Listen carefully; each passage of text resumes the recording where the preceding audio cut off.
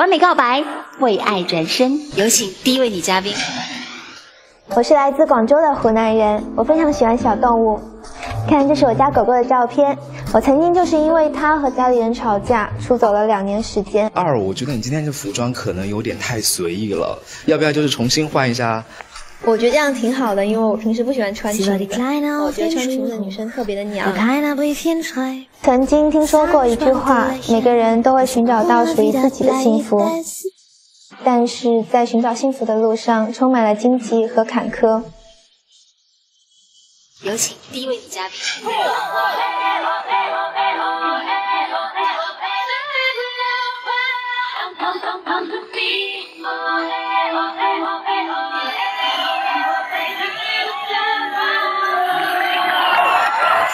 哎呀，哎呀，好可爱！噜啦啦噜啦啦噜啦噜啦嘞，噜啦噜啦噜啦嘞。我爱洗澡，皮肤好好。哦哦哦哦，唱唱跳跳带上浴帽，哦。哦哦哦，潜水艇，赛道高。我爱洗澡，皮肤好好。哦哦哦哦，小心跳蚤好多泡泡。哦哦哦哦，美人鱼像泡泡。上冲冲下起起左左左右揉揉右，空再来握握手。上冲冲下洗洗左左左右揉揉不下的浴缸，好好做。我比较喜欢声音好听的女生，一般性，呃，好几期节目都是只要女生唱歌，我一般都会都会转型，而且她很可爱，我觉得。Hello，大家好，我叫张浩儿，今年二十一岁，来自广州。我的爱情宣言是：若是两情若 两情若是长久时，又岂在朝朝暮暮？我不要求你对我做任何浪漫的事情，但是你也不可以要求我穿裙子和高跟鞋。啊？你不喜欢穿裙子吗？我不喜欢穿裙子。可是你今天穿的这是裤子，啊，裙裤。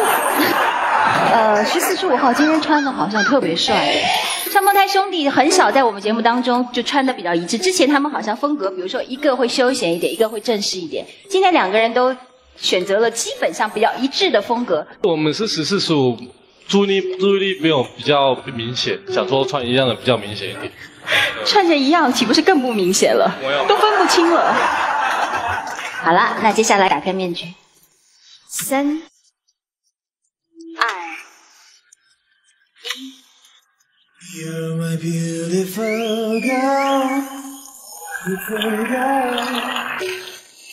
你好，李嘉宾。我不知道你第二个你名字第二个字怎么念？奥，奥利奥的奥。七号，你是来自哪里啊？啊，我来自厦门，不是我近视看不太清楚。对，我想。所以，所以你应该说我看不清，不应该说这个字怎么念，不然的话大家怀疑你跟十一号是一个级别的。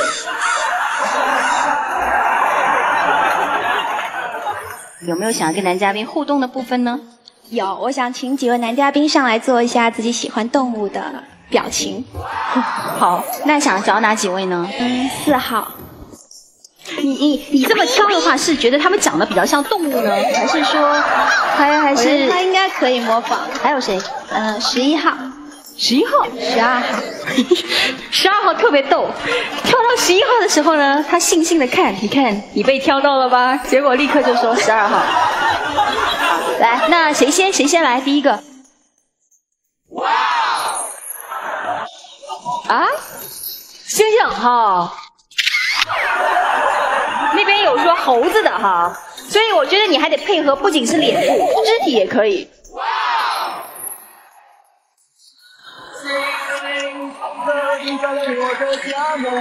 请问他模仿的是什么？大猩猩吧？大猩猩。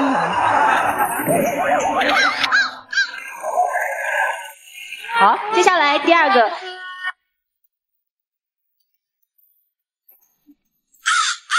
这是什么啊？这是什么啊？你猜猜看，猜猜看。二，你觉得他模仿的是什么？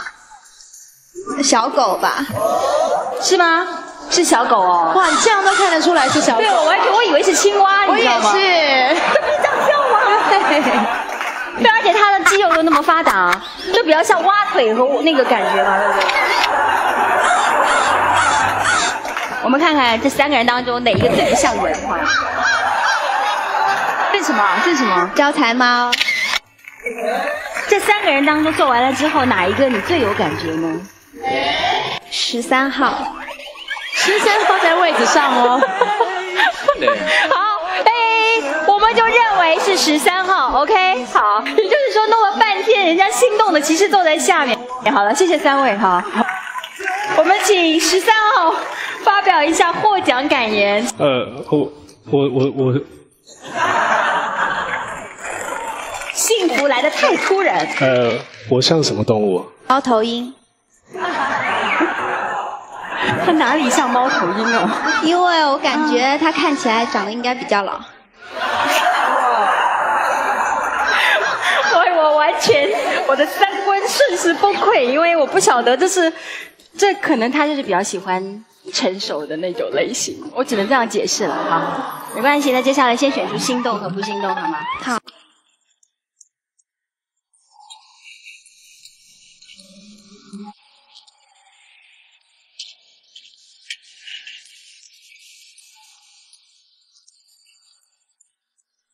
首先是心动，呃，不要刻意把眼神盯在某一个人，他们都很狡猾的。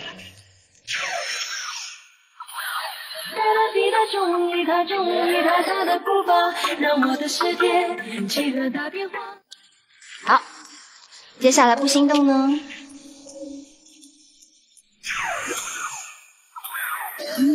这个不心动的眼神比较明显，请问你们有自己感觉到的吗？我感觉应该是我旁边的二号吗？对，我觉得是我旁边的，我觉得应该是我。Why？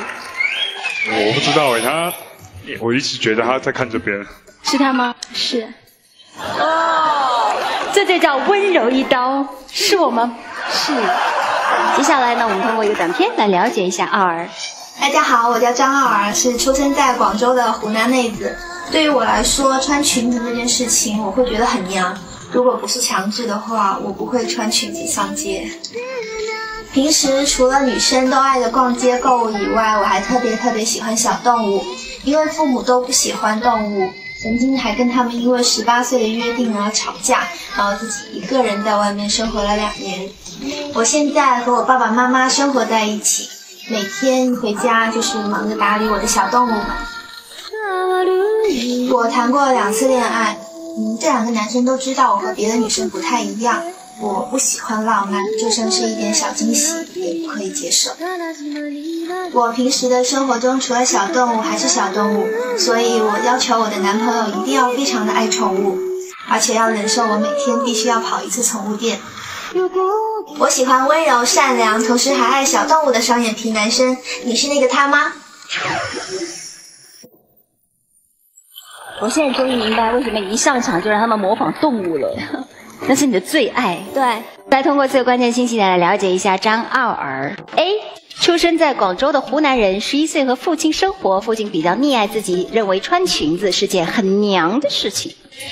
B，外表美羊羊，内心红太狼，对于动物完全没控制力，曾经因为动物而离家出走两年时间。我想问一下，你离家出走两年时间，你能讲一下这个故事吗？我想听一下。呃，因为我从小都特别喜欢小动物，然后呢，父母都觉得学业为重，就不可以养宠物去分心。之后呢，他们说十八岁的时候可以养动物，但是十八岁的时候他们还是没有履行他们的约定。之后我就决定离家出走了。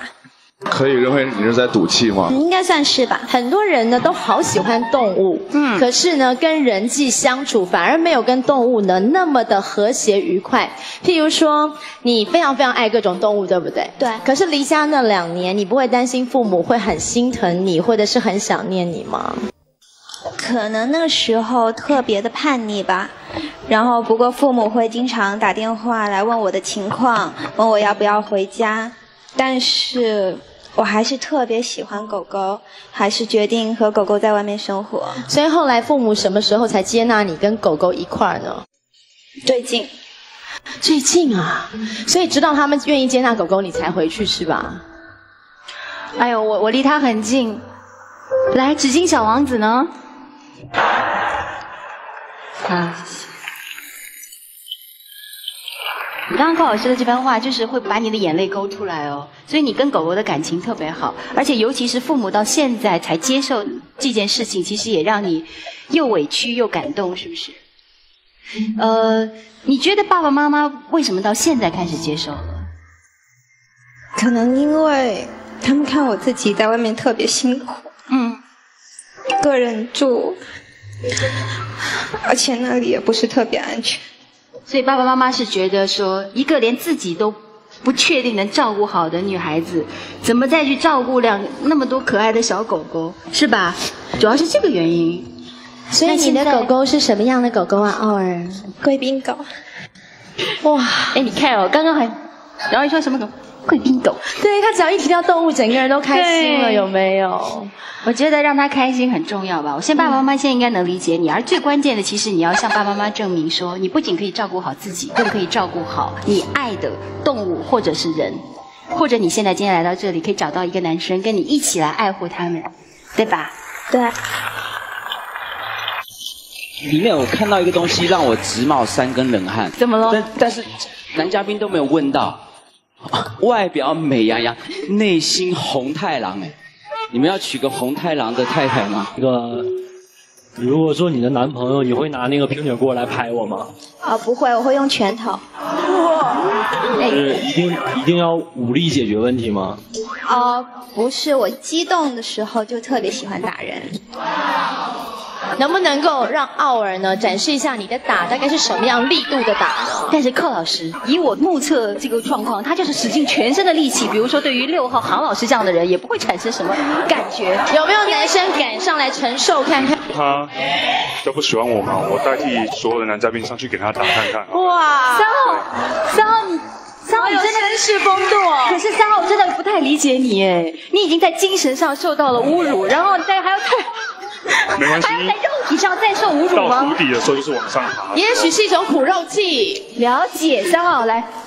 三号踏着悲壮的步伐上了舞台。你生气了吗？呃，不生气也可以打。哦，哎，三号是真的疼吗？有有，大家有听到声音？哦，有听到。真的有声音。有声音，对，所以你真的觉得还蛮厉。其实我觉得应该在场大家都能接受了。你现在有没有对他有点改观？你看他这么好。哦，有。现在三号再度踏着悲壮的步伐回到座位。就是你认为穿裙子是件很娘的事，嗯，可是我觉得就跟你的外形性格好像，你不不属于那种很爷们的女生啊，那为什么会觉得这样子？那只是我的外表，我的内心是比较爷们的。只要男生做的事情，我都比较喜欢，像爬树啊那些。你小时候会在去树上摘水果吗？会。然后摘了之后再从楼上扔下去。哇，哎，你还喜欢做哪些男孩子的事？下河捞鱼吧，打篮球。你打得好吗？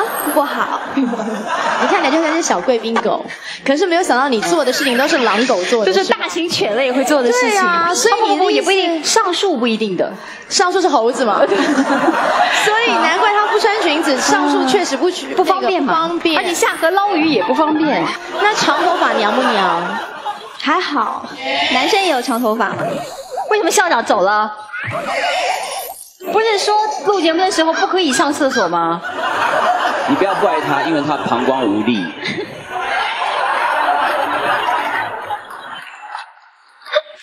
呃，我我想问的就是说，你喜欢任何的动物吗？除了苍蝇、蟑螂。我也不喜欢苍蝇。你喜欢蛇吗？喜欢。因为我之前也我也蛮我也蛮喜欢小小动物，我之前小时候有养过，就是兔子、养鸭子、养蛇、养养狗、养猫，反正我都养。然后有一次我养只鹦鹉，然后 我们发现，在我们在聊这个关于鹦鹉的时候呢，有一个吴力先生回来了，真是。所以莫校长，莫校长刚刚呢，在我们这么可爱的女主角。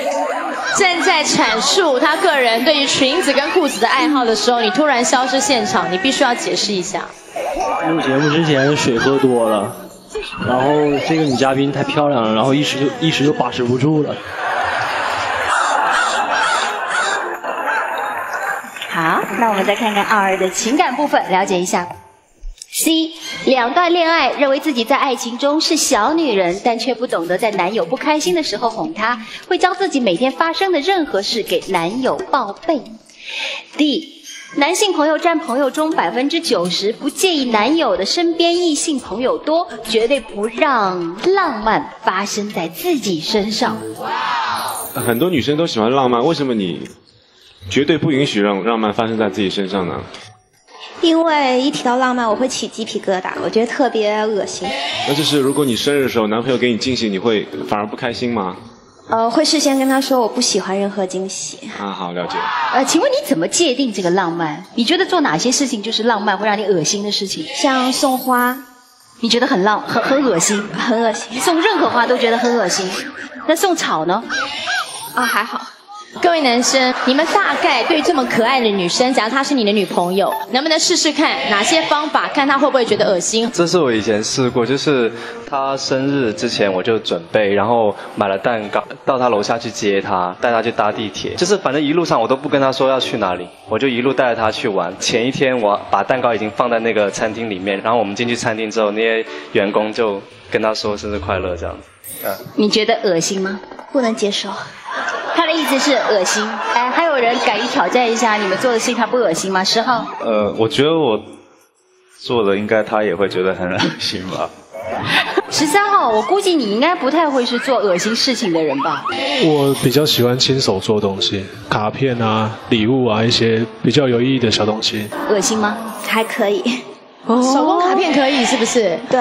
啊，所以比如说，如果他不是突然送你一个蛋糕，他突然送你两只仓鼠，这样可以吗？可以。也 也绝对。那其实我们觉得这很浪漫。六号，显然你对于这样子的话题没什么兴趣。就是说，呃，要是我女朋友过生日的话，哦，你会怎么样？不知道是什么风格的女朋友。要是你如果是他，对。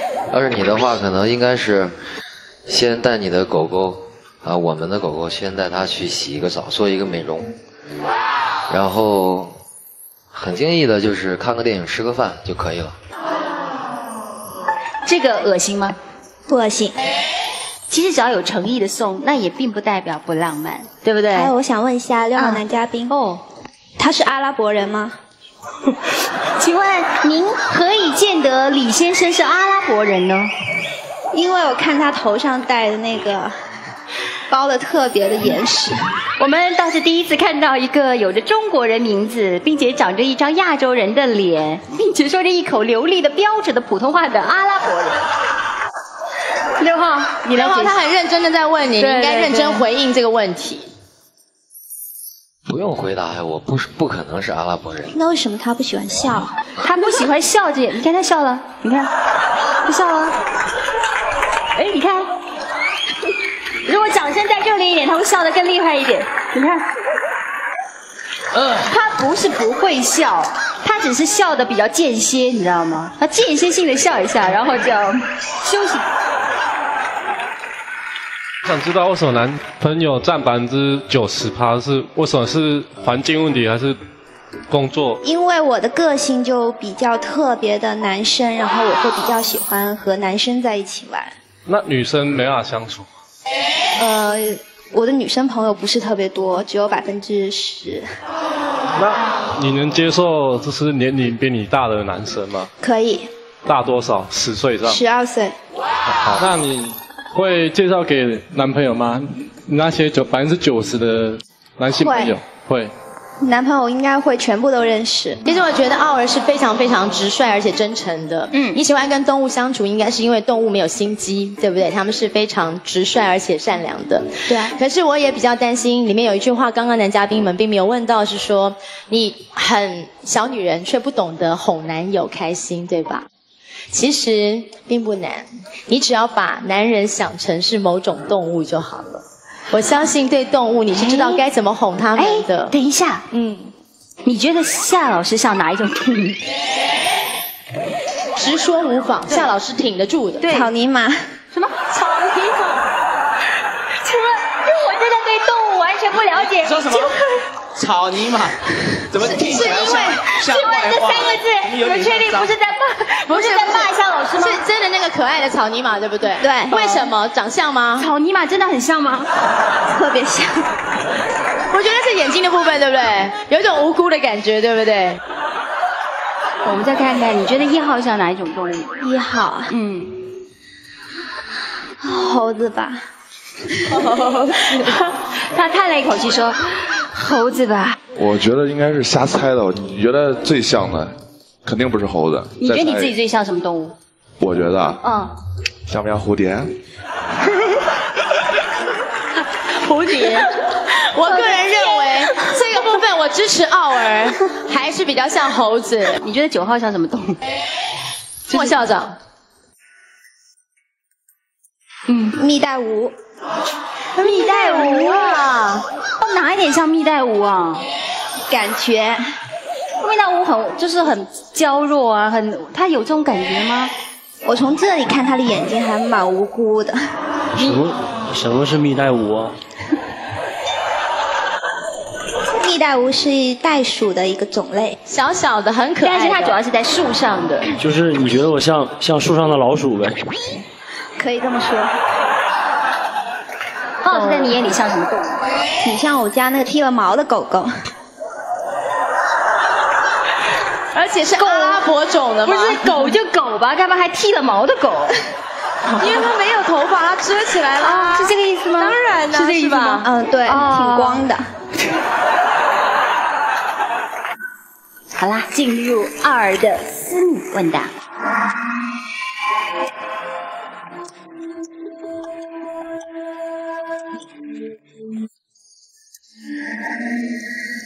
你敢坐过山车吗？敢了，那你会做家务吗？呃，比较少，你能接受长痘痘的女生吗？长痘呃可以啊，你介意黑皮肤黑的女生吗？不介意啊，你不黑啊？哦，我很黑。啊是吗？为什么你这么多男性朋友啊？刚刚说过了，我的个性比较男生，所以比较喜欢和男生在一起玩。那你跟他们会很亲密吗？不会，那如果我建议你跟他们出去玩呢？呃，我会有限制。时间到。呀，好惊讶哦！你好，男嘉宾，你好，想问一下，你喜欢小妹妹型的女朋友吗？还还好，你觉得你是大叔吗？某部分是，什么部分呢？呃，心理部分是大叔。好好，好好，不好意思，突然不知道要有讲什么。不管最后结果如何，你可不可以为我留灯呢？因为我很害怕看到失败的那个场景。好，谢谢。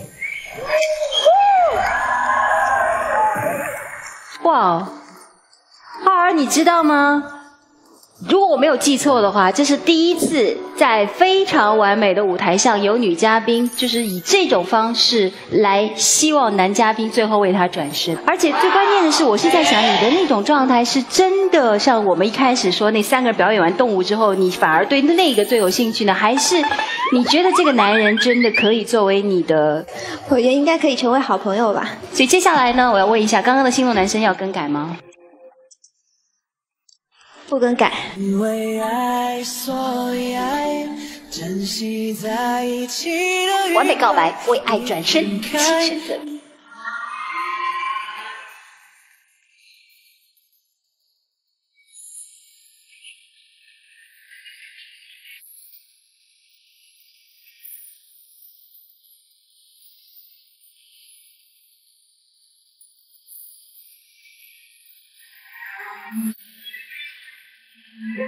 的。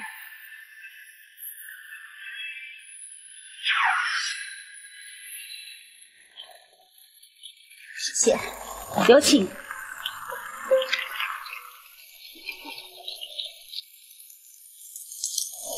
嗨，呃，我有转过来，因为我有答应过你，我会转过来。其实我是想告诉你说，像你这样的女生很勇敢。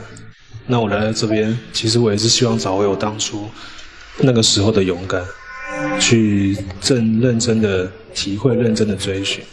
所以我是来替你加油。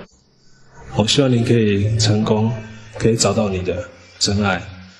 我也希望，就算你真的失败了，可是你也不要放弃，或者是觉得难过，因为你要记住现在你所拥有的，呃，你的这一份勇气跟这一份爱，持续的下去，加油！谢谢。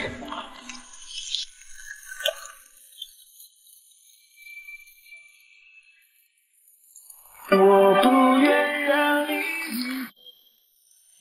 你是一个勇敢的女生，接下来你要继续把你的勇敢坚持下去，继续告白吗？要。向谁呢？十二号。十二号。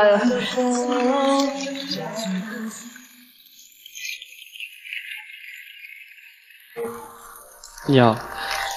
当我上台的时候，你有没有发现我的名字比较熟悉？呃，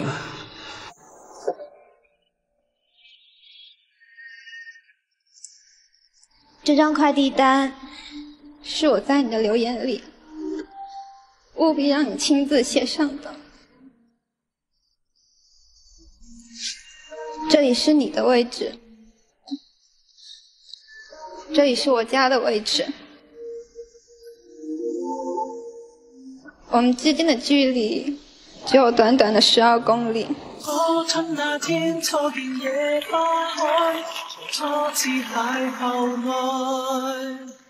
我在你的淘宝店买了一套情侣装。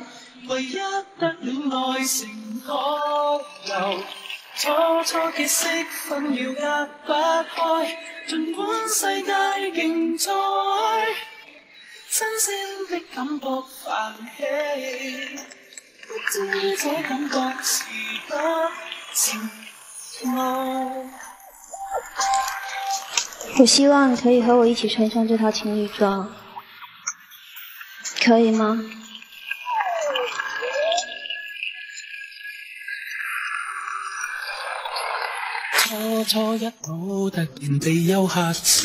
我不是一个怎么能接受浪漫的女生。对于浪漫的事情，我也不怎么能做得来。这是我第一次向男生表白，站在这里只有紧张，我也不知道该说什么。我希望你可以和我一起穿上这套情侣装，和我一起回广州。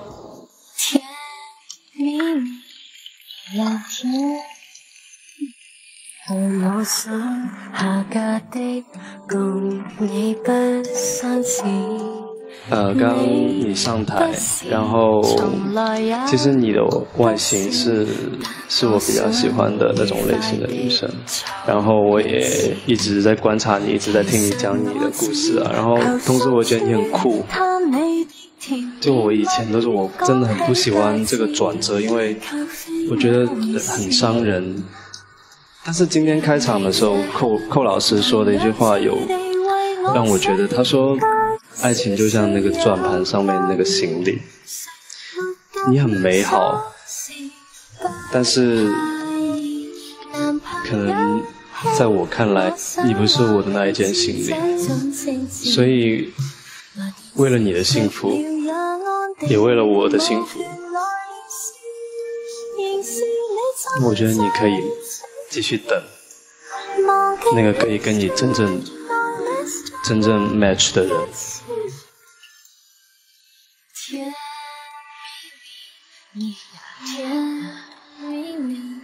其实不管今天结果如何，我都想你现场可以为我一起穿上情侣装。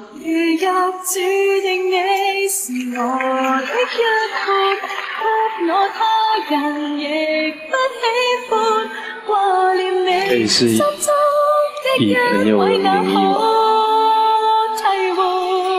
其实注定我是你的一半，等你归来，其他不管，缺乏你，憂鬱都充塞了血管。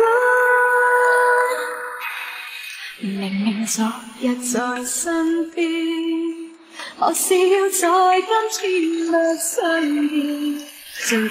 拍一张照好不好？廢了一失足到冰遠，恨我出走也要唉声叹气，沿途风光好得要死，无奈未可。我太過愛你，願意放生你，無謂你抱盡我也這麼的晦氣，我亦算知醜。这个时候的二儿是需要一些安慰和鼓励的，想抱抱你，觉得他好可愛哦！一起来来，就當放生你，先跟寇老师抱一抱，然后再跟夏老师抱一抱。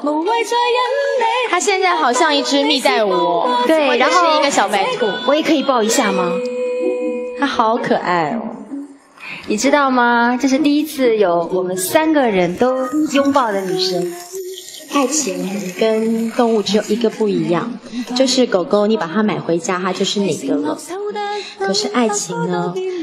对方可以自己决定他要不要成为你的宠物，或是属于你，对不对？所以这不能强求。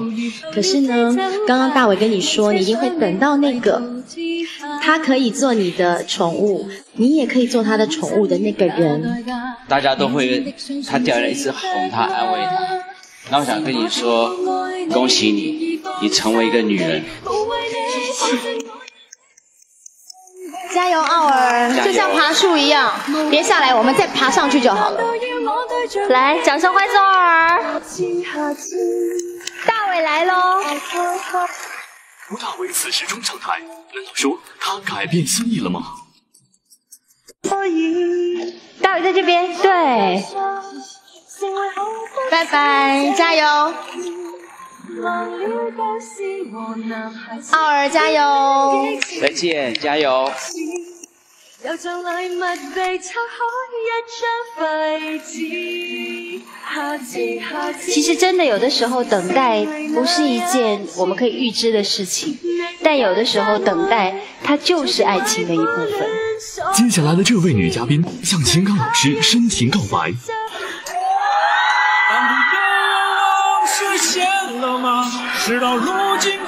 我是个旁观者嘛，就突然站起来就大是这种不知所措。事后来讲也蛮合理的，对吧？现场到底发生了什么？在此之前，非常完美的舞台先迎来一位从未见过父亲却励志开朗的女孩。我是来自台湾的 Summer 孙凡英。那我今天呢是非常非常高兴可以来到非常完美。那我今天来这边呢，只有一个非常非常终极的目的，就是要替我的宝贝找爸爸。干嘛 的？哦，拿来化妆的哦，没有啦，没有啦。真的吗？这个是我等一下呢要来变魔术，等一下就是我见证奇迹的时刻。今天我带着我的秘密武器，我来啦！男士们，你们为我转身吧！接下来就是见证奇迹的时刻了。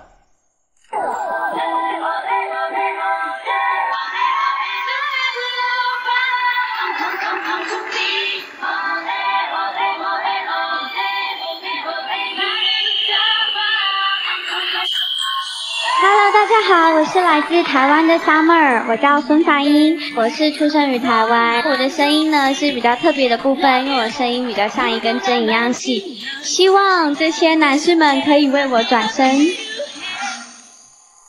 好了，接下来关于爱情的可以与不可以？我可以为了嗯我的另外一半放弃我台湾的生活，但是我有一件事非常在意。希望男生的中文要标准一点，咬字要清楚一点。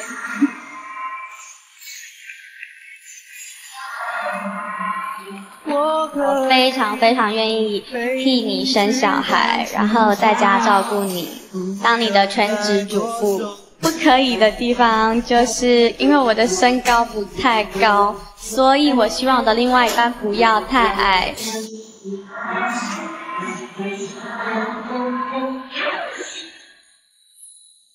他们全都转过来了，现在要不要把面具先打开？好，三、二、一。You're my beautiful girl, beautiful girl. 那有魔术要跟大家来做互动，就是看大家有没有兴趣，然后跟我一起完成这个魔术。我需要请一位朋友来帮我的忙。好，想请谁呢？我想要请十号男嘉宾，再找一个话筒架来。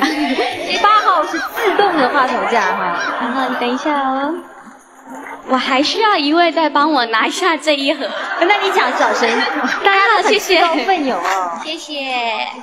请我们男嘉宾把双手借给我，呃，翻过来借给我，对，来挑一只手，选择一只手给我。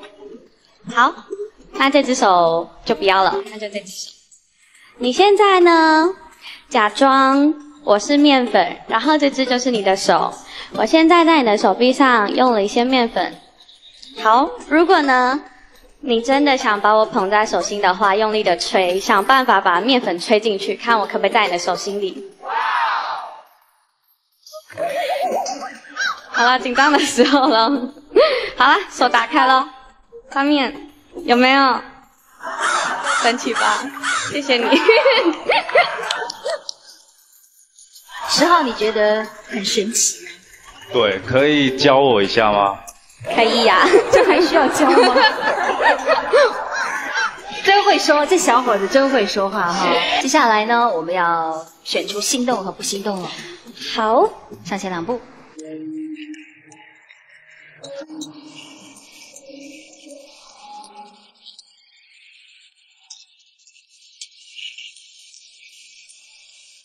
首先是心动。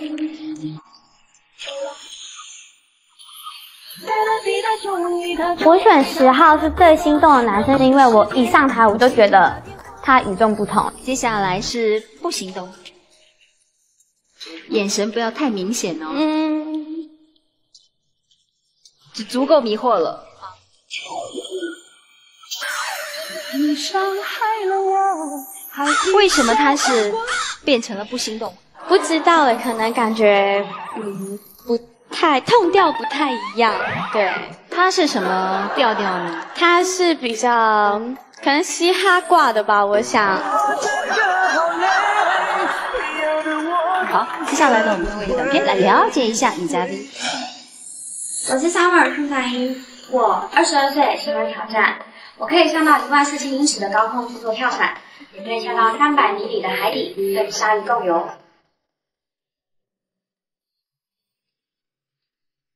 我爸爸是山东人，应该要有一双宽阔的手臂，可以一手把我举起。有慈祥的笑容，可以让我免于受到其他人的欺负。可是，我却从来没有见过他。心是我生命中离不开的主题。我现在一个人流浪，如果我找到你，请你和我一起展开一个不一样的间隔年旅行。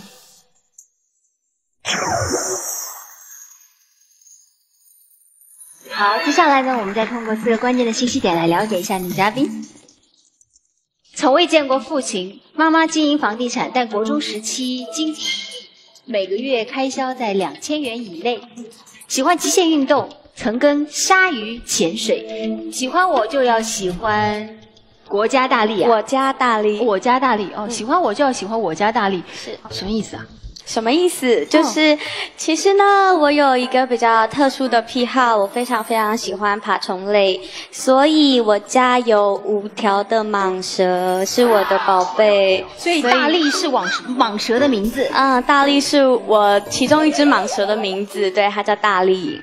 嗯，其实可能大家对蛇类或者爬虫类比较不熟悉。其实蛇是非常不需要照顾的动物，它没事就是窝在那里窝一坨，然后一直睡觉，一直睡觉。除非就是哎要进食的时候，可能要喂它一些老鼠啊、兔子啊，它才会有反应。五个粒，每天要吃多少老虎、老老鼠啊？其实蛇的话呢，它不需要吃太多，它两个礼拜吃一次就够了。那如果大条一点的蛇，可能哎一个呃两个礼拜到三个礼拜喂它吃一只兔子或者几只小鸡或者几只老鼠就可以了。兔兔子、小鸡一般都可以可以从一些渠道购得，但是老鼠你要去捉吗？哦，老鼠有专门也有在鼠场繁殖，对对对，所以其实都蛮方便的。各位男嘉宾们都可以接受跟蟒蛇共舞。不是，你你应该这么想，就是哪一天你睡觉半夜，突然手一摸，有一种湿滑、蠕动的东西突然出现你枕边或者是你脚底，我我觉得那个生活在这种家庭里会有危险，啊、我没有养毒蛇，所以没有危险。就是蟒蛇，它是给你活吞了，就是比有毒还要残忍，而且给你吞进去之后，你当时死不了，你得过一段时间才能死，就是非常非常的痛苦，所以还不如有毒的。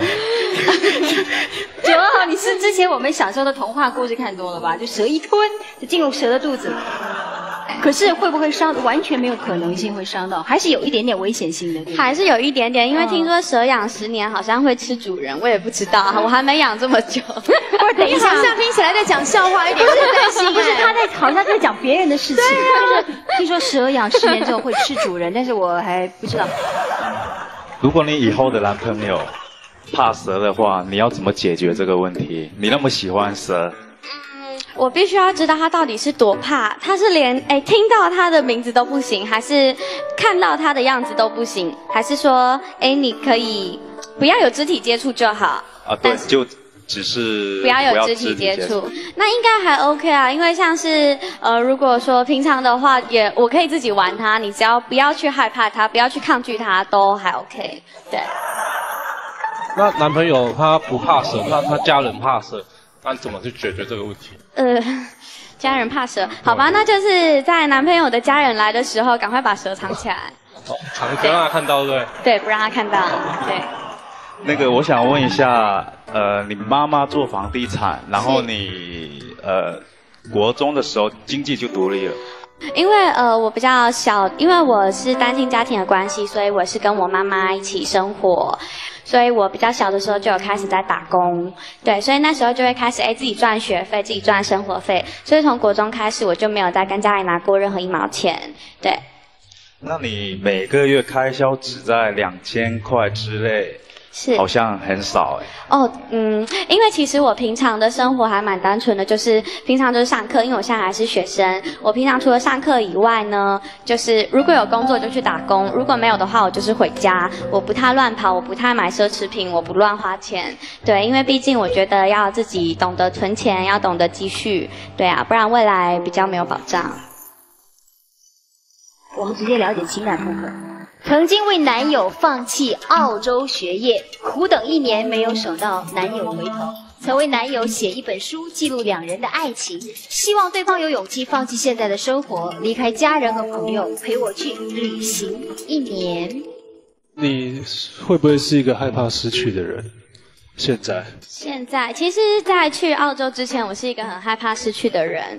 但是在自从我去澳洲之后，我就是也看了比较多的东西，然后也了解多比较比较多的事物之后，我发现，其实我一开始是害怕失去我自己，然后我出国是为了找到我自己，然后我也找到我自己了。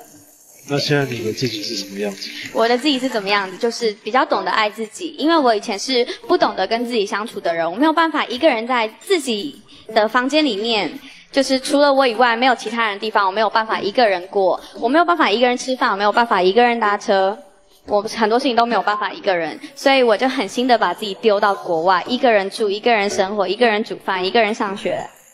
你说你曾经为你的前男友写一本记录爱情的书，那如果你的现任男友看到，你不怕他吃醋吗？嗯，我是觉得，如果现任的男友看到会吃醋的话，那代表他也不太成熟。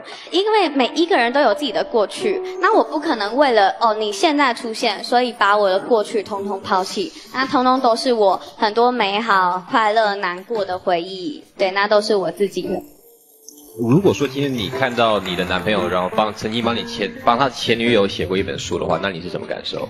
因为他已经做了这个事，他已经写了，所以你也不能说啊，你怎么会去写这本书？怎么样？怎么样？怎么样？啊，不然你把它烧了，你把它毁了。但是我觉得那毕竟那是他的回忆，我不能去干涉他，因为那都已经发生过的事情。你讲这么多也是发生过了，对呀、那如果说里面有什么照片，什么一些亲密的照片呢？可能会跟大家一起分享他以前的回忆吧，如果他愿意。嗯，你的母亲对于你感情方面的事情，会给你一些建议啊，或者是聊一聊有关的事情，她的态度大概是什么样子？他的态度会比较悲观一点，因为毕竟自己有失败过，所以我会跟他讲讲我的想法跟我们的相处模式不应该是哦自怨自艾，我们要懂得更去为自己争取一些什么东西。其实我有一个小小的疑问是，白英说从来没有见过父亲。呃，对，因为其实我父亲他是一个呃生活比较丰富的人，应该怎么说，就是这样子。然后他嗯，在我出生的时候，我一直都没有看过他，因为他已经消失了。不知道去哪里了，对，然后在这段日子里面都是我的妈妈在照顾我，所以我才会变得比较想要积极一点，想要独立一点，想要成熟一点这样子。父亲现在肯定在世界的某一个角落，对不对？对。但是你跟妈妈都不知道他在哪。嗯，我跟妈妈都不知道他在哪，而且他就是，嗯，他除了没有照顾我还有我的家人以外，嗯她也对于其他的小孩子也没有在照顾，所以我觉得他是一个比较不负责任的一你还些做法。你们家还有别的孩子吗？不是我们家的，他自己其他的小孩子，嗯，对，了解。据我所知是吗？有一些，但是那你跟父亲的其他的孩子有联络吗？有看过一个姐姐，我们总共有七个女儿，都没有被她养过。嗯，那我想问，七个女儿也有七个妈妈吗？她们来自我们家有两个，然后啊其他的来自三个家庭，所以有四个家庭，总共七个小孩，所以一共有四个妈妈。四个妈妈。那这个爸爸一个妈妈和妈妈的孩子都没有养过，都没有养过。嗯，而且这四个妈妈和所有的孩子都不知道这个爸爸现在在哪里。都不知道。这所有的你们在成长、出生的整个过程都没有跟你们联络过。没有，他都没有参与。嗯，这个爸爸真的太神奇了。妈妈从来没有说过爸爸的坏话，妈妈只有说我可以照顾你们，我就照顾你们。然后爸爸的事那是我们的事，其实也没有很严重，就是啊爸爸不懂事，怎么样怎么样，然后含糊的带过。他可能也是怕就是想起一些不好的事情。你如果很偶然的，呃，做了一个梦啊，突然看见你曾经的父亲，嗯，然后这个时候你他跟你擦肩而过的时候，你幻想一下，闭上眼睛想啊，你会去做什么样的一些举动啊，或者是说一些什么样的话？其实这个有另外一个秘密，就是其实有一次我在我的之前打工的地方附近的自助餐，然后去买东西吃，我看到了一个就是我妈给我唯一那一张照片里面的那个男人，他坐在餐厅吃饭，跟另外一个女人，我不知道他是谁，可能是朋友，也可能我认错，那根本不是我爸爸，可是因为真的很像。那时候其实我看到当下我有点错愕，我一直在想我要不要上前去打招呼，还是说我赶快离开。最后我在那边其实就有点有一点呆掉了，因为不知道该怎么办。最后我索性我拿出我的手机，对他狂拍了几张照，然后很快的离开了那里。如果那一刻你不是只是拍照，嗯，如果你真的到他面前，你会说第一句话是什么呢？我可能会过去跟他打声招呼，我我一定会试探性的问他，我说：“哎，你好像我一个朋友，请问一下你叫什么名字？我不知道我是不是认错人。”对，不管他说什么，我一定马上离开。假设今天如果真的是你碰到爸爸，而且也确定是他，就真的是那个照片上的男人，你有机会可以对他讲几句话的话，你愿意对着镜头说出来吗？我给一点点时间，你想一下。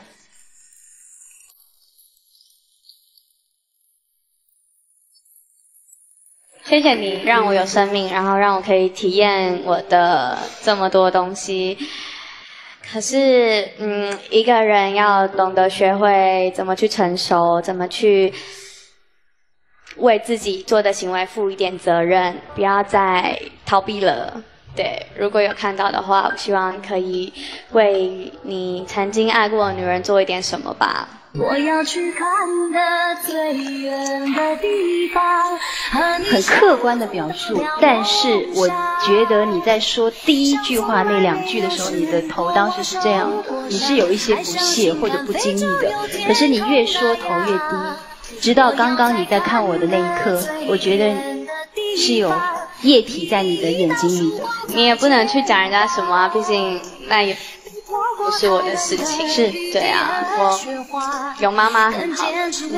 我相信白银心里面对一个男人的不负责任是排斥的，因为你刚刚特别强调负责任。嗯。可是，在低的这一点，你又希望你未来的男友是有勇气放下一切跟你去旅行。为什么会有这个要求？我知道现在大家都一定有各自自己的生活，但是如果真的愿意为了我，愿意放下你身边所有所有的一切，不顾一切的跟我去的话，那我相信你对我是非常非常有心意的。我觉得呢，这是一种投射。我觉得这个人如果是爸爸有多好，能放下现在所有的一切，陪我吃个饭，陪我一个月。其实。如果获到这种爱，那你小时候那份缺失的爱，或许就得到一点点的安慰跟满足。纸巾小王子，谢谢纸巾小王子。你跟我一模一样，我也是还没有出生，爸爸就走了。从刚才一直开始讲这件事情，然后我觉得我跟你走的是两个方向。我从小我特别恨这个人。然后我有一次机会在高中的时候，因为我要上大学，我妈拿不出学费，她找到了我爸爸。然后那个时候我第一次见了他一面，我见他第一眼见到他的时候，我做的第一我做的第一件事情，我挥了他一拳。我从你身上看到的是，更多的是看开，更多的是成熟。我那个时候真的只是冲动，然后就是仇恨，但。现在觉得蛮后悔的，因为那个时候我觉得那件事情最大的错误是伤害到我妈妈，因为我妈妈跟你妈妈一样，她从来没有怨恨过我爸爸。我很尊敬你，甚至我可以说我很崇拜你。如果我前几年提前几年我遇到你的话，我会比我现在成熟的更早。所以你很棒。有的时候，爱情就是这样很奇妙的事情。我们常常说，最深的痛其实是说不出来的。所以，我是建议大家用最热烈的掌声送给四号以及白英的妈妈，以及各位像他们一样有着同样经历的伟大的女性们。当然，我们更希望的是，男人们都能够有负责任的态度。好，进入白英私密问答。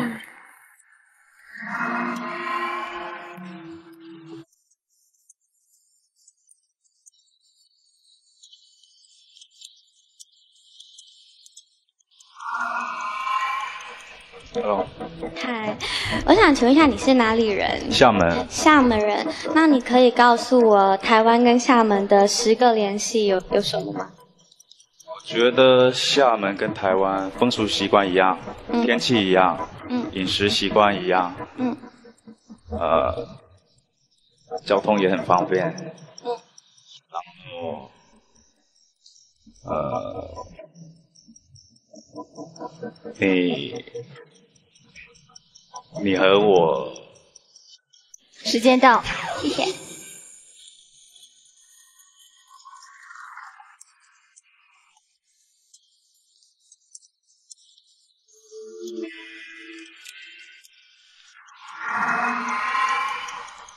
你好，我想请问一下，你是哪里人？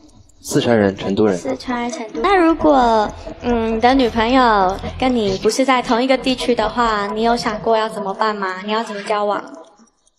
嗯，我可以让她到我这边来，我也可以为她到她那边去。放下一切。对。好。时间到。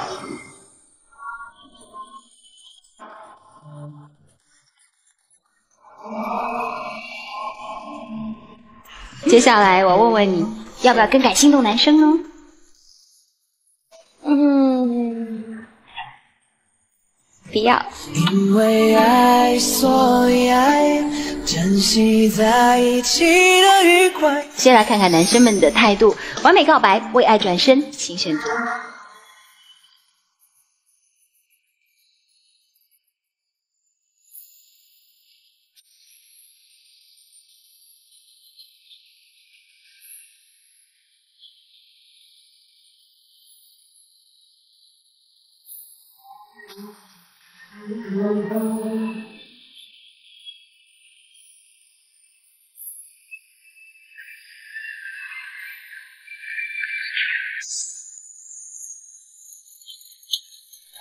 十号维托。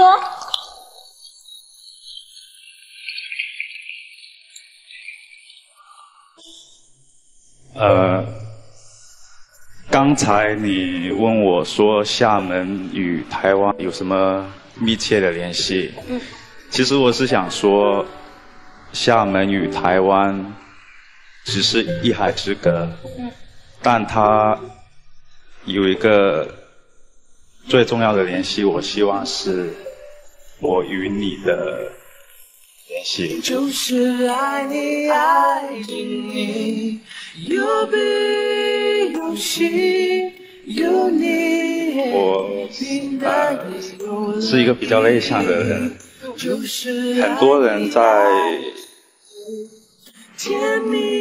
对待幸福的时候，都会希望能够有更多的选择，都会看着呃远处的，然后忽视了身边的幸福。但是你出来之后，我觉得我的幸福就在我身边。这一生一世让我保护你，就算全世界成为敌。很多人都会问我，之前都会问我说喜欢什么样的女孩子，我的回答只是说喜欢有感觉的女孩子。但是在问到我说喜欢什呃什么感觉的女孩子的时候，我都说不出来，因为那种感觉好像很难用言语来表达。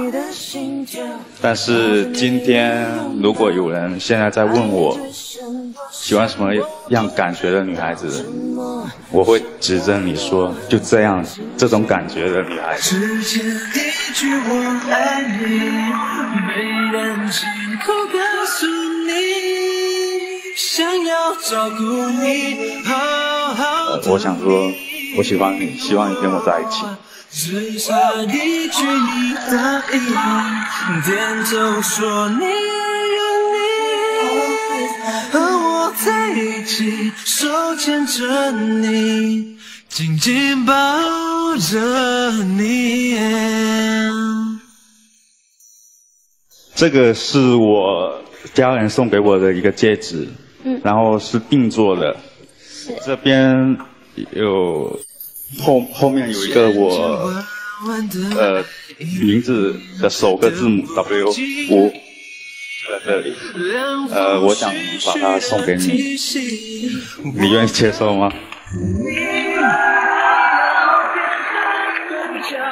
为你战斗，永不投降。让我有你，不愿意停住太阳。我超越我自己的想象。哇，恭喜！想要帮我们的这位呢，十号的帅哥问一下，你刚刚说你其实是不太那么能接受蛇的，对吧？呃，现在不是问题了，现在不是问题。可以把它单独放在一个房间里面养。对，没问题的。如果真的相爱，有什么问题是克服不了的呢？对不对？所以让我们再次用最热烈的掌声来祝福吴维托和樊英。哇，真舍不得你们呢。好了，祝你们幸福。同时呢，送上节目组的祝福，就可以获得约会网亲情赞助的中国南方航空公司广州至伦敦的往返机票两张。拜托、拜拜，拜拜，祝贺你们，加油！让我的世界变成粉红色，呃，感谢非常完美让我们相遇，赞也非常感谢，非常完美，还送我们这么棒的礼品耶！赞。接下来上场的是来自上海的职场御姐李兰。我叫李兰，职场御姐，为了理想狂野。这次来是为了特别的一个男嘉宾来的，因为你在这里，所以我来了。有请嘉宾。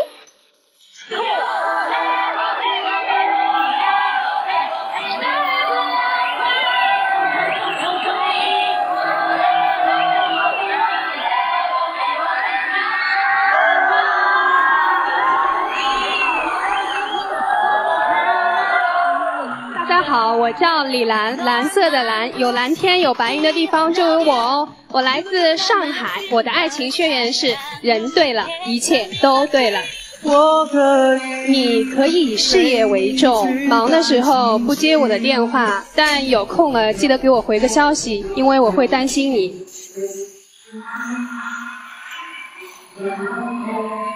你可以不陪我逛街，但我希望你能跟我一起饮茶，因为我想把我最喜欢的东西与你一起分享。那你现在要不要打开面具呢？好啊，可以啊。三二，You're my beautiful girl. 很有气质的一位女生。大家看见我会觉得啊，我可能是一个比较独立的女生，是一个御姐型的。能不能请两位男嘉宾跟我互动一下？是不是说他们能让我变得很小女人呢？十一号首先举手了，还想找哪位？嗯，还有一号。我就说我告诉你，我要我们分手吧，然后你你会怎么办？对不起，老婆，我知道我错了。嗯、可能那时候喝的有点多，然后做了一些可能你觉得违背你原则的一些事情，希望你能原谅我。但这已经不是第一次了。那你确定要分手吗？那可以最后握一次手吗？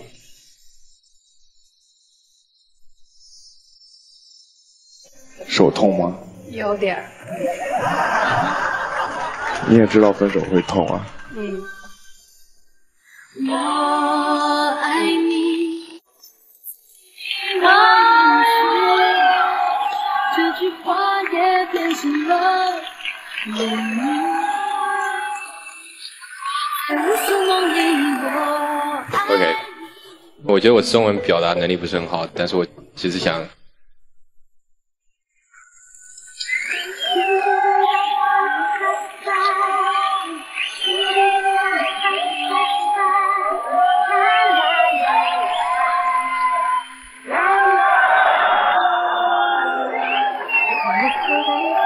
种感觉和这种感觉，哪一种更让你觉得让你更变成小女人呢？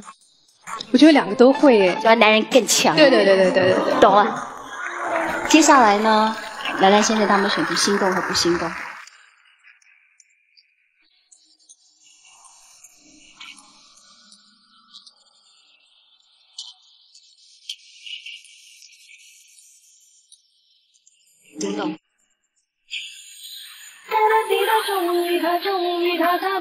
还有一个，选两个。哦，好。以兰选择了十一号，而十一号也为他转身，但是他为什么要拒绝十一号的告白？现场到底发生了什么状况？还有一个不行动。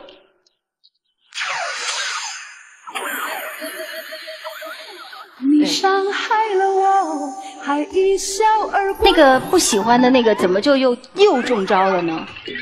其实很多时候喜欢一个人不需要理由，不喜欢也没理由对。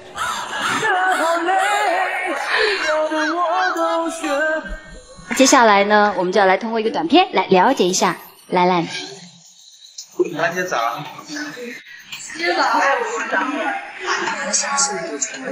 我是职场御姐，为了理想狂野。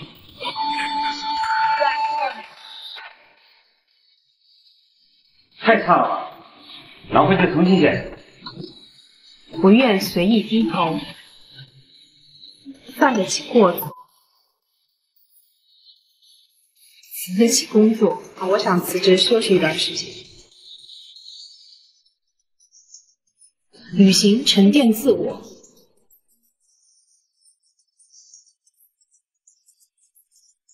品茶感受生活。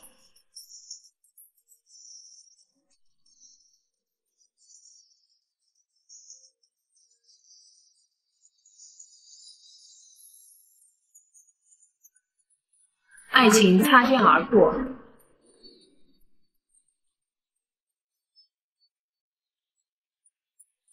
生活不过如此。我叫李兰，我的故事也许就是你的故事。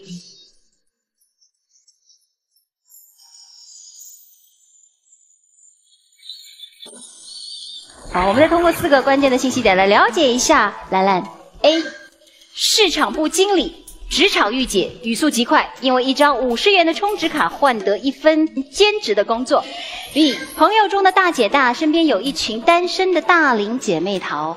哇我想知道，因为五十元的充值卡换得兼职工作的这个故事。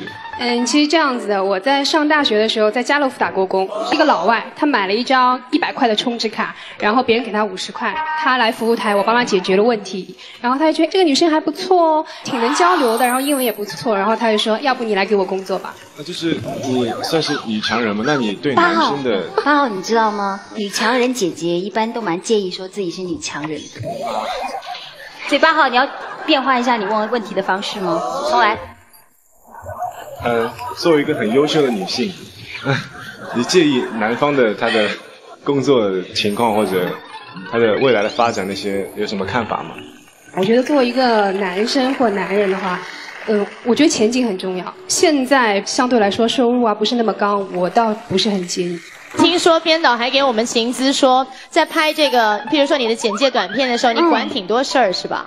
对对对对包括什么摄像大哥要不要坐着啦，工作人员摄像大哥在拍的时候，他说：“哎，大哥，你这样会不会太累了？要不要先坐下来我来听听看李总是怎么说的。当时你是怎么跟编导管了哪些事儿呢？因为我是觉得他们挺辛苦的，就是嗯因为我们拍两天嘛，一个上午一个下午。然后我觉得变得好辛苦，然后完全没吃饭，然后又赶着去下一场。是。然后他跟我说：“哎，我我说你们住哪里呀、他就跟我说上海，说了一个快捷酒店。对。嗯后来我就想，哎，不能这样吗？我们可以就找一些新的酒店啊，谈一些合作啊。我说你们下次来这边就可以住的舒服一点呐、我说如果不是旅游旺季的话，这完全是可以的。您能帮我们做这件事情吗？可以啊，真的吗？真的真的真的。那大概价格会在什么样区间之内呢？嗯，现在我还不知道。那你能赞助这部分吗？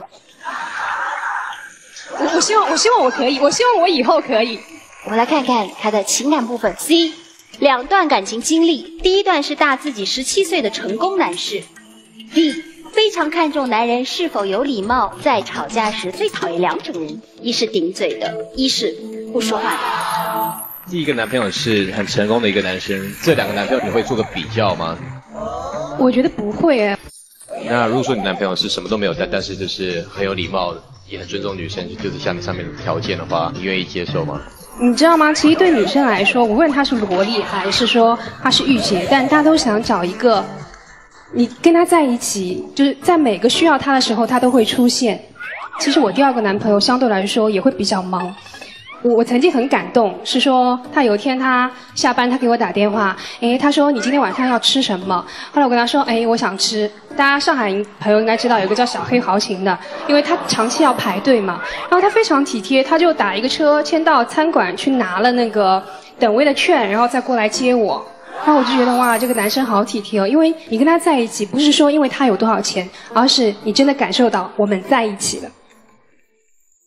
谢谢。那你既然吵架的时候不喜欢顶嘴，又不喜欢不说话，那你是不是喜欢那种说一吵架你就说啊不好意思我错了，我原谅我这种男生呢？诶，其实我觉得答案已经很明确了，因为刚刚我已经邀请了两位男嘉宾，我们就是在演我们如果发生不开心的状况。哎，不好意思我错过了。啊哦，那你那你真的好可惜，现在后悔没有转过来吧？有的。你你好记仇，我已经忘记他那时候一直一直背对着没看到是吧？对对对对对。啊，你刚刚在跟每一个那个男嘉宾对话的过程呢、其实也都是一种你个性的展现。嗯，就是刚刚的，包括你跟这个大雄的直截了当的往来。抱歉，那你错过了。那是你平常跟男友相处的模式吗？对啊，因为我性格相对来说会比较直接。你真没办法撒娇，对不对？你会吗？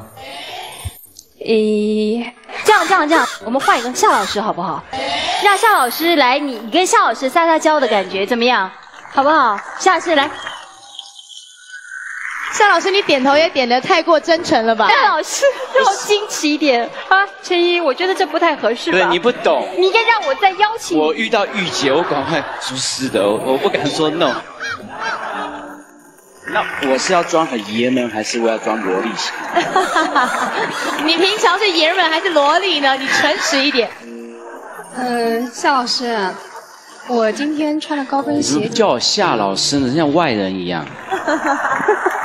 那我应该叫叫东豪哦，东豪，或者是小豪豪。对对，小豪豪也可以。小豪豪，对 不对？他是爷们，你萝豪哥，豪哥。什么事？对啊，我今天穿鞋好累哦，你能不能背我一下？或者我们换双鞋也可以。那你把鞋脱掉就可以，可以帮我帮你拎啊。你脱真的，你愿意帮我拎鞋啊？对啊，哇，太好了！那你就自己脱吧。啊，你可不可以帮我脱一下呢？我穿裙子好不方便哦。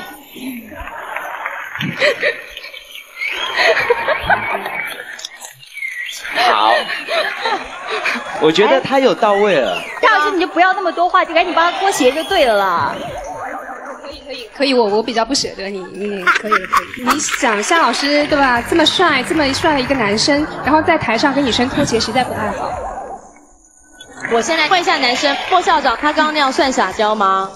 应该是稍微有那么一点点吧。哎哎，我们可不可以请九号来给我们表现一下，怎样才是撒撒娇呢？因为他说只有一点点。哎，要不你跟夏老师来一次？莫校长。好吧，你做错事你就撒个娇，让我原谅你吧。豪哥，我错了。豪哥，你原谅我吧。这已经不是第一次了，上次我也原谅过你了。最后一次吗？你上次也说最后一次啊。你最后最后一次啊？我每次都相信你，就每次都伤害到我。你再你再相信我最后最后一次吧。不行，我不能再相信你。女人天真的眼神，怎么办藏着冷酷的真，人生看不清，却奢望永恒。要在一起，在一起，在一起，在一起，在一起，在一起。好，我原谅你。好，我原谅你。我们给夏老师一个掌声鼓励，好不好？情感嘉宾示范的非常好。好了，那接下来呢，进入兰兰私密问答。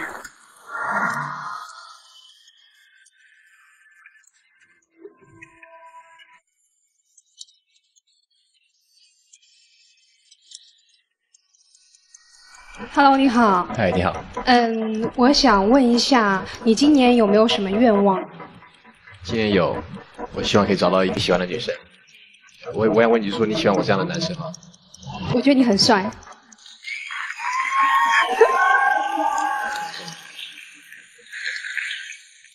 OK，我忘了我下一个问题了。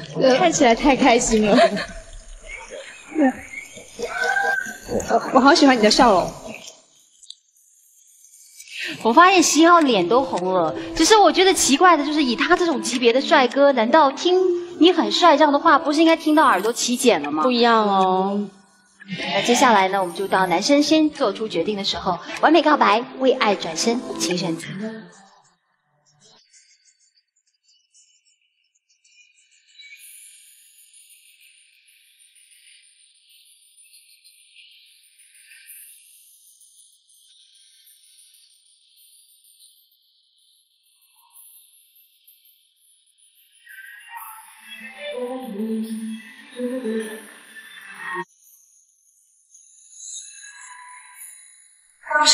转身的时候就好紧张，然后因为十一号又很阳光嘛，他笑起来非常灿烂，然后就觉得哇，原来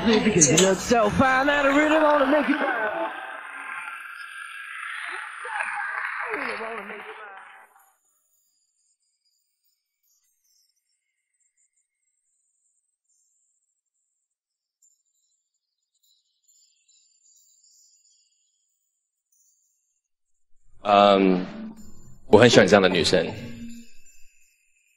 因为我觉得他们说一个认真的男生是最帅的，但是我认为一个很认真的女生是非常性感，而且我认为你刚刚在做这个小小的撒撒娇的 demo，我觉得非常也很性感这一面。觉得我很愿意跟你努力，因为我现在其实我在人生中，在可能在工作方面我也是非常非常的迷失。但我希望可以有一个人可以跟我一起一起冲。就算跟世界成为敌。当你把手紧紧放进我手里，怎么不相信？其实我真的还是蛮喜欢你的。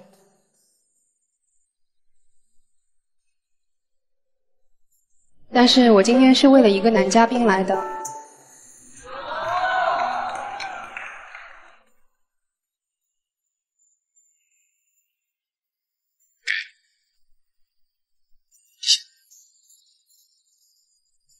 李兰选择了十一号，而十一号也为她转身，但是她为什么要拒绝十一号的告白？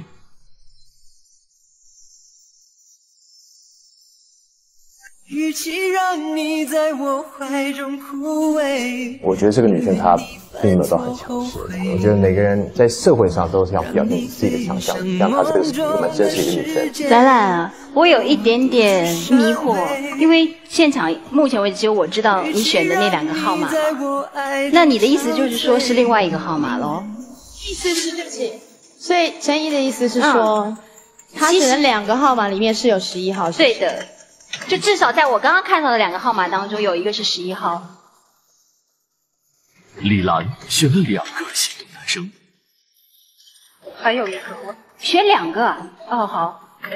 据说自己是为了一个男生来的，我今天是为了一个男嘉宾来的。拒绝了十一号的告白。他的心动男生另有其人，意思是对不起，所以陈怡的意思是说，嗯他选的两个号码里面是有十一号，是不是对的，就至少在我刚刚看到的两个号码当中，有一个是十一号，所以刚刚十一号上来的时候，我真的觉得，因为我们这个节目是，就是你要很诚恳坦率的在这里说出这个心情，要不然的话，这个对十一号不公平，对吧？所以你刚刚选了两个号码，可是怎么了？是那就是剩下那一个吗？嗯，其实也不是，因为我选的是五号和十一号，然后加在一起是十六。可是我们现场没有十六号啊。其实我是为夏老师来的。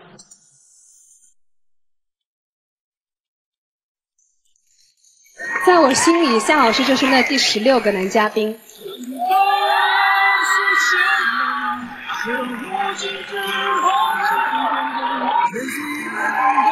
不是，可是，这请问我没有听错吧？热烈掌声欢迎我们十六号男嘉宾，李兰加油！夏老师等幸福等很久了。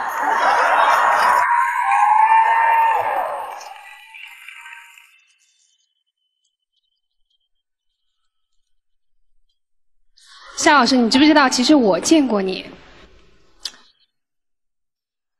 嗯，其实我是做吉列的嘛。我们那个时候邀请你做过一场 media gathering，哎，是的，我记得。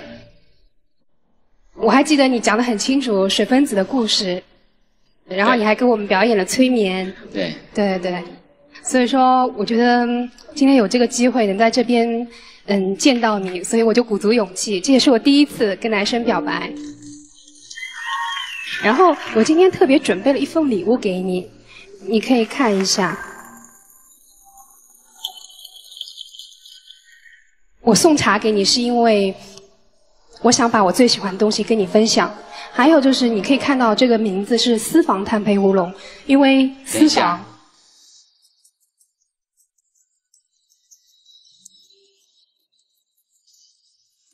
我可以在你分享或者他们说这个告白环节之前，我可以在之前先给你个拥抱吗？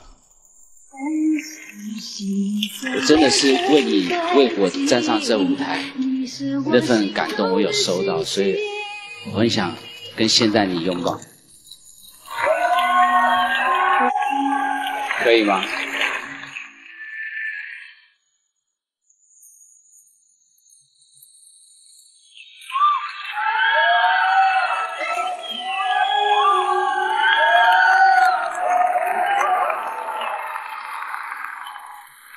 刚刚讲到，因为这款茶很特别嘛，叫私房炭焙乌龙。因为其实最特别的是这两个字“私房”，因为老公是自己的，所以我希望以后如果有机会的话，我可以亲自为你泡茶，然后和你一同饮茶，一同分享开心和不开心的时光。感觉他在紧紧地抱住你，他骚动你的心，遮住你的眼睛，又不让你知道去哪里。我觉得我应该比男嘉宾更震惊吧，因为他们在下面看，至少他们都已经知道说，这个女孩子可能是为我而来。身为一个心理嘉宾，我在旁边看他们，就像个看戏的。然后我在下面曾经也演练过好几次，说：“哎呀，他也太不会说了，哎这有什么好怕的？”然后我想说，如果换作是我，我一定会说的比他们更好，或者是更直接。其实我发现我现在好像跟他们也差不多。我在下面有时候觉得说，他们说上面之前说的话太多了，就干脆一点比较好。队长，你们要在一起，在一起，在一起。在一起，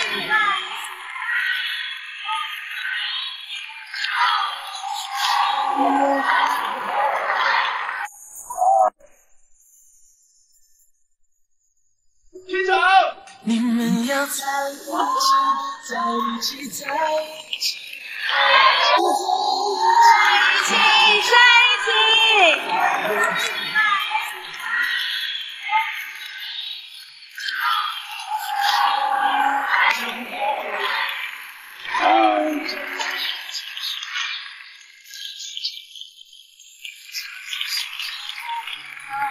老师，其实我今天来这里，并不是说啊，我们到台下去，我们就是男女朋友了。我就我就是觉得有一个机会，然后其实对我们彼此都是一个机会。既然我们有缘分站在这里，为什么不给彼此一个机会呢？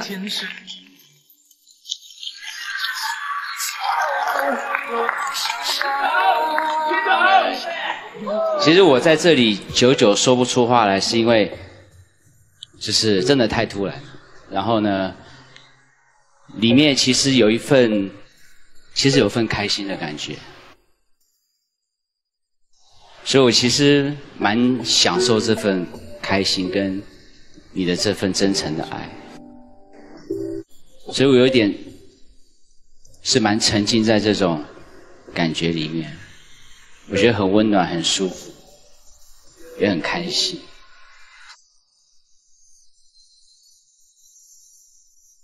其实我想说，这个感觉真好。如果这个感觉是来自于我第一眼就看中的那女孩子的话，我相信我现在可能也会开心的受不了。其实可能对你没有一见钟情的感觉，所以我还是预备迎接一个梦。就像你说的，就做朋友因为你说不如给一次机会，但是我们这舞台上这个机会不是只是做朋友的机会，这里牵手的意味着是不只是做朋友，可能是更一份严肃认真的去对待这份感情。而我觉得这份男女之间的感觉，这一份我心中没有那个悸动，可是有感动。我希望能把这份感动延续到我们的友谊里面，可以吗？可以，向老师希望你有时间，嗯，在上海我们可以约的一起同饮茶。啊，可以啊。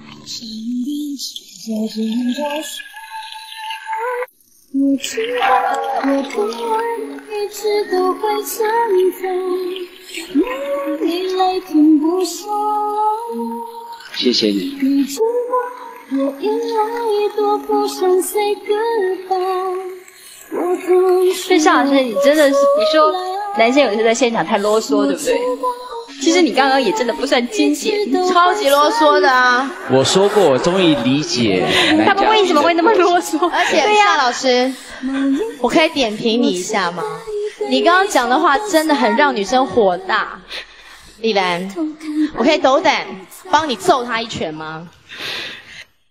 李总，你诚实说，你刚刚在听他回答的时候，没有一点点觉得这男人讲话真的不怎么样吗？伤人吗？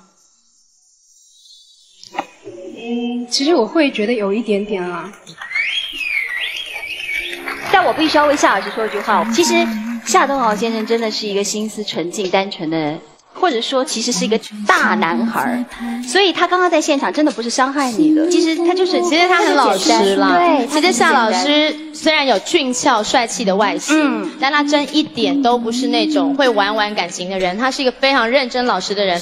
所以其实我现在有一个很热切的心愿，我觉得在非常完美这里的每一个人都应该要找到幸福。其实我现在就等着看陈怡跟夏东豪什么时候可以遇到你们的幸福。我我还我还在排队了。好了，那再次用掌声来祝福特别优秀的女生李兰。哇哦！